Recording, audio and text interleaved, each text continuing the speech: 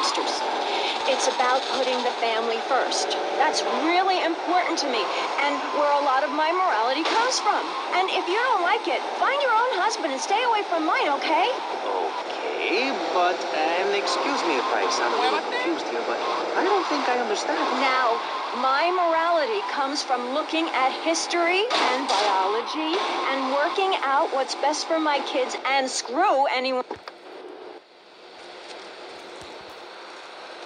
Move your ass. Get